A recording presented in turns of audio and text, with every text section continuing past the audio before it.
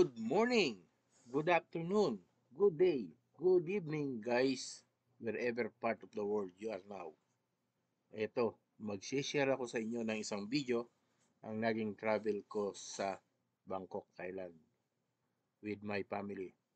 And for this video, ipapakita ko sa inyo ang naging routine and itinerary namin para ma-share ko naman sa inyo kung ano ang nakita namin sa Thailand and sa mga future na gustong magbiyahe papuntang Thailand. And nagawa ko yan dahil sa tulong ng Skylife Traveling Tours.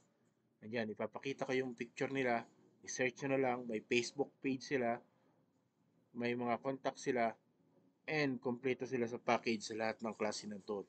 And I really, really recommend them.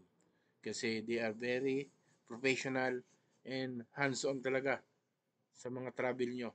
Hindi kayo pababayaan. Kaya, ipapakita ko sa inyo ang mga video na kuha ko sa naging travel ko sa Bangkok.